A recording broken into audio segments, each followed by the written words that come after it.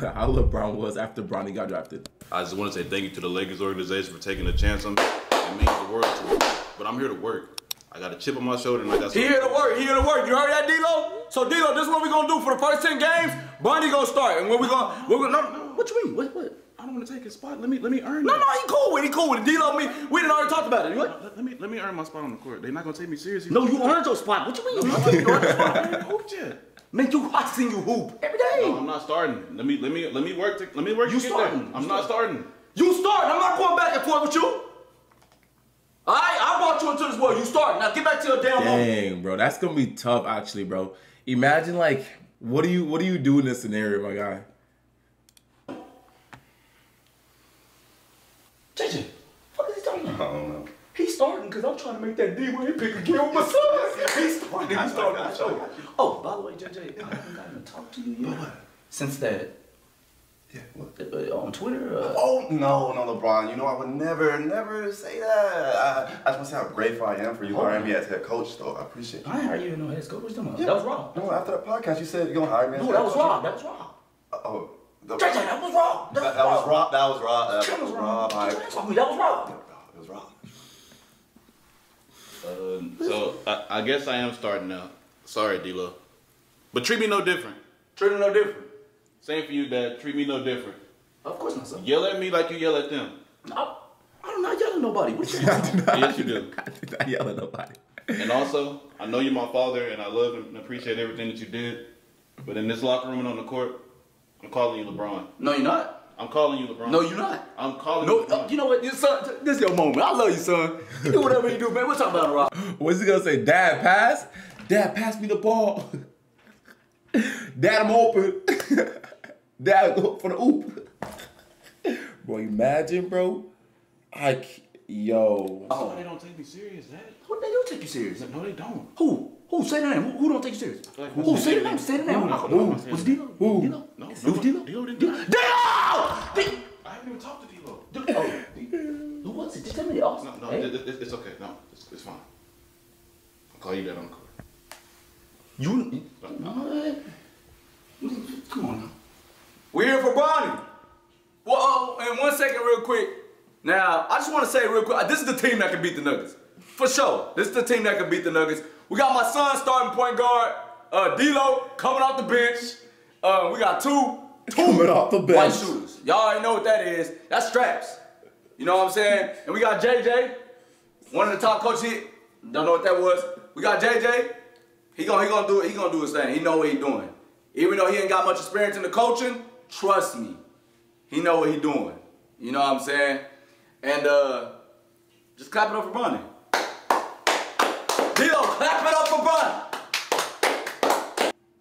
Bro, I feel the awkwardness, bro. I ain't gonna lie. I feel it. Like, it's just like, damn. Dad, pass me the ball. Dad was open. Dad. Yikes. Like, ew. Like, ew. I kind of want to watch this one, too. My dream has always just been Bronny, is, Bronny James is officially trapped. to put my name out, make a name for myself, and of course, you know, get to the NBA, which is I wonder if he actually messed with basketball like that. Bro. I mean, if he didn't, he wouldn't do it. Maybe possibly. I don't know. You would think, right? What if he actually like secretly hates basketball? everyone's angle is. if you don't want to be known for being LeBron's son and just like an appendage of LeBron going wherever LeBron goes, then you'd go to any team that drafts you, right? He would not be spoken about in the way Bronny James is, good or bad, because his father is not LeBron. That's the reason he is getting the opportunities that he has because of his connection. he will get drafted. He will get drafted probably in the second round because of his last name, yes. Um, not very long. Damn. Not very long. Um, I'm on the other side, obviously at the hill, so uh, I'm not going to play another 20 years. That's for damn sure. But uh, not very long. Who do you want to play with? Bronny is number one on my fucking list. That's dope. He's number one on my list that I want to play with for You want sure. him to beat you? Bronny James is the most polarizing college player in years, but more importantly, he's the most mysterious prospect of all time. How could we know so little about a kid who's been under the microscope since he was in sixth grade? Type Bronny has been intentionally hidden from the public eye. That's no secret. We didn't see him on social media until he turned 14, and really, we still don't. Sure, we're treated to the occasional TikTok dance or Adin Ross cameo, but fast forward, and the most hyped prospect of the 2024 draft has only done one interview. What are his strengths, his personality, his true height? What's his work ethic His like? true height. Ultimately, who is Bronny James? Is he his own man, or His is he living out his father's fairy tale? For starters, his parents named him LeBron James Jr. This quickly became a problem that even LeBron acknowledged. I still regret giving my 14 year old my name because of that. It's, the only thing I could do is give them the blueprint, and it's up to them to take their own course whenever that time happens. Notice how LeBron doesn't refer to his only son, who's named after him, by his real name or his nickname. The battle for separation was on early for these two, but LeBron consistently muddied the waters. On one hand, he talked about the unreasonable amount of pressure he put on his son by naming him LeBron James Jr. But on the other, he publicly stated how his new dream was for his son to make the NBA and join yeah, that his was team. kind of a tough thing. now, quick like off off rip, you just like sucking like y'all like he like bringing him to be attached with you.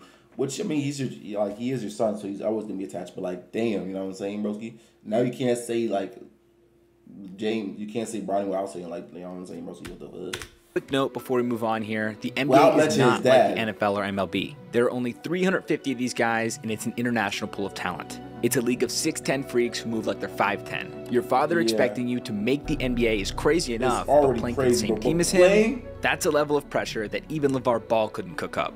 As a kid, Bronny seemed genuinely interested in becoming his own man. The earliest memory basketball fans have with him is 2015 when he refused to wear his father's number. He, quote, didn't want people to know who his father was. Kind of hard when your name is LeBron James Jr., but Yeah, the intentions right. are clear and respectable. LeBron seemed like a proud dad in response. He told Complex, Bronny hates when they ask him for pictures and autographs, he won't even wear my number. The shadow bothered Bronny, and who can really blame him? It's not a pretty picture for sons of NBA legends. Michael Jordan's two sons both played college basketball. The oldest, Jeffrey, played five years and averaged 1.3 points, one assist, and less than a rebound per game. Marcus had a slightly better career, but also fell short of the league. You probably know him better for dating Scottie Pippen's ex-wife Larsa, which tells you all you really need to know. Bronny's I Am Brawny, Not What? LeBron campaign never really stopped, but we never heard it directly from him. What? Despite the James family being un- Jordan's son dated Pippen's ex-wife. That's a crazy family dynamic. That's a great. That's a. That's crazy. Undoubtedly the biggest family in sports, Bronny was a mystery. Sure, he played ball and skyrocketed up the rankings, but something was way out of tune. Never before in the history of basketball coverage had the ratio of articles, blogs, and videos created to actual first-hand sourcing been so misaligned.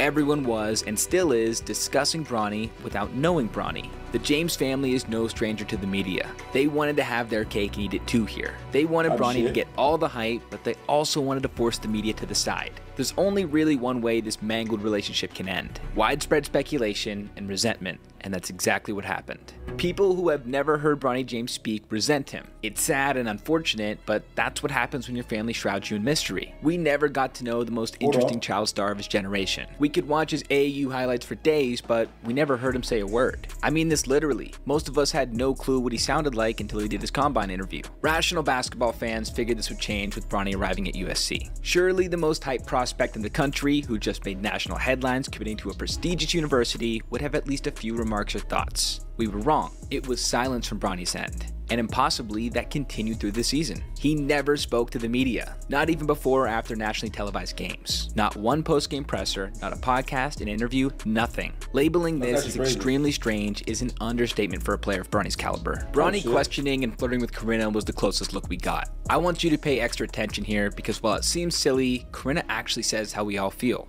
Bronny. What's up, how are you? How are you? I'm scared my butt's gonna come out. oh Why are you looking at him like that? He's like tall now and like the voice is deep and stuff. You've never met me. Yes, I have. When? I've met him. As trivial as that conversation is, it's kind of perfect in symbolizing Bronny's mystique. Corinna, like the rest of us, doesn't know Bronny. She might know of him or have mutual friends, but she feels like she knows him. She's even surprised to hear his voice. Now, up to this point, the mystery of Bronny and the tug of war between him and his father had been strange, definitely, but nothing that serious had gone down. That changed July 24, 2023. Bronny collapsed in the middle of a workout at USC and was rushed to the hospital. He suffered cardiac arrest. Fortunately, he was going to recover, but his basketball career was in jeopardy. There was complete silence. No one from the family spoke on Bronny's health anywhere. In fact, the only information given to the media was a statement from a LeBron James Family Foundation rep. It read, quote, it is an anatomically and functionally significant congenital heart defect which can be treated. We are very confident in Bronny's full recovery and return to basketball in the very near future. Thankfully, the statement proved to be true as Bronny was medically cleared to return after missing the first part of the USC season. Now, maybe due to his recovery or because he was an undersized young guard in a new league, Bronny failed to deliver at USC. He averaged just 4.8 points, 2.8 rebounds, and 2.1 assists per game on dreadful shooting splits. It is hard to sugarcoat just how forgettable his USC career was. In a down year for the Trojans, Bronny could hardly crack the That's about missing a rotation. For any other That's player in the world declaring for the NBA draft with this resume would have been laughable, but LeBron turned up the heat. Rumors quickly spread that Bronny was considering transferring to Duquesne to play for LeBron's high school teammate Dru Joyce. LeBron was stuck. What was more important to him? Did he really want to just give his kids the blueprint and let them forge their own paths? Or was he dead set in achieving his own dream of sharing the floor with his son? Ask anyone who really knows basketball, and they'll tell you the obvious move for a kid in Bronny's position would have been returning to college for at least another year. LeBron had other ideas, namely his behind the scenes tactical weapon in Rich Paul, who knows exactly how to manipulate the draft. Paul is crafty and moves in silence, but this time he couldn't do it in complete silence. Finally, the time arrived for Bronny to give a real interview, and one of the reporters actually asked him about this very topic. What went into the decision not to talk this season or, or do any interviews? Was that your call or who, who's? You know, Just my team, stuff like that. Is you know, I made decisions for me that would would be best in that situation, current situation. when you say your team, You know, just like my agency and stuff like that. Yo, PR train, PR train. what? I can tell you, I, I'm just going off what they they're told. The agency piece is key here. Clutch Sports is owned by Paul, who also is a close friend of LeBron's. He's become famous for an unorthodox style of meeting his clients' demands. He's the perfect man for this job because the demands are twofold and extremely unorthodox. Number one, get a player who on paper does not meet G League qualifications drafted into the NBA. Number two, get him to the Lakers and make it look organic. Yo! Bronny ended the draft combine ranked 98. What? What? a sharp decline from his top 10 ranking heading into college. Again, for any other prospect, 98th is career suicide. There's only 58 Right. picks in the draft. However, Bronny was impressive in the combine workouts and managed to catapult himself to 54th. Conveniently, that's one spot before the Lakers, who sit at 55th. So much of what's transpiring seems so transparent, it's insulting. You have a situation where Bronny James get, uh, is projected I fuck with as, Stephen A, I ain't gonna lie. is ranked 98 on, on, on the talent pool. He goes to the NBA uh, combine, Molly, and it drops 44 slots to 54. And the Lakers have the 55th pick in the second round. I mean, but really? You can't LeBron and Paul shit are up. veterans of the game. Publicly, they'll state Bronny and his father have let go of the idea of playing with each other, but is anyone really buying it? The Nah. actions don't match the words, and it goes deeper than the combine workouts. Paul's next move was a bold one. He stated Bronny would absolutely not sign a two way contract. Essentially, this means he's not willing to be a player who gets called up and down between the G League and NBA. These deals are significantly less valuable. Two way players can play in max 50 NBA games and are barred from competing in the playoffs. Now, it's commonplace for a second rounder to sign a two way deal. It's often beneficial long term. They get Yeah, more right. playing time in the G League. This goes without saying, but more often, it's a take it or leave it type of negotiation. Not with Paul, though. He's intentionally limiting Bronny's options here. Typically, the next move for a guy in Bronny's position is private workouts. Again, all very normal unless you're named after LeBron. Second rounders will take any meetings they're offered. This is a rare chance for teams to get to know you on and off the court, but the mystery continues with Bronny. This was the exact moment it became impossible for the James family to play both sides. I thought the turning point may have been when he measured 3 inches shorter than his listed height of 6 That's foot at the combine, crazy, but it wasn't. It was the private workouts. Bronny had a choice to make live out his own dream or live out his father's. It was finally time to choose. Here's the first route. If he genuinely didn't want to be known as LeBron's son, he'd work out and play for any team that drafted him. Maybe it meant going undrafted. Doesn't matter. This is the grind every other player endures. Bronny went with Route 2, and it alienated him from 90% of basketball fans. It's hard to make the argument that you sympathize with a kid who's going out of his way to turn down opportunities. His potential identity as his own man evaporated as his father effectively gave him a free ticket into the league. This was LeBron's dream in full force, and there's video proof. somebody named Fred Taylor Jr., Channing Crowder Jr., Ryan Clark Jr. would not be afforded that opportunity. He would not be spoken about in the way Bronny James is, good or bad, because his father is not LeBron. That's the reason he is getting the opportunities that he has because of his connection. Connection to his father, connection to the most powerful agent in basketball because of his father. As the NBA draft approaches, the spotlight on Bronny James only intensifies. The moment the Lakers draft him, America will see right through it. The resentment will grow 10 times stronger because Americans don't root for the favorite.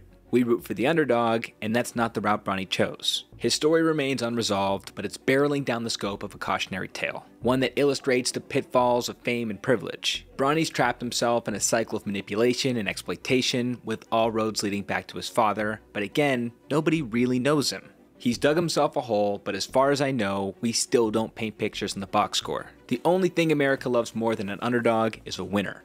Moving forward, shit. nobody will care how well Bronny's doing with FaZe Clan or Instagram. He doesn't have to become an all-star to win, but he does need to prove to the world he belongs in the NBA. Becoming a meaningful, reliable, and skilled rotational player would suffice. It's a hefty goal for a guy who stands 6'1 amongst a league of freaks, but if he can make it happen, he can write his own story. Tight shit, bro. As I was gonna say the only thing I can say LeBron, LeBron Bronny now, LeBron James Jr. Only thing I can say now is just balling out, broski. You know what I'm saying, broski? You got to ball out now. You know what I'm saying? You got to ball out now, bro. I'm talking, I'm talking, I'm talking like prime Westbrook numbers. You know what I'm saying, broski? You know what I'm saying? You gotta give me triple double, triple double, triple double, broski. And as an undersized guard, bro, like bumbo glad. It's not looking, it's not looking good, bruv. It's not looking good, bruv, bro. It's not looking good, bruv.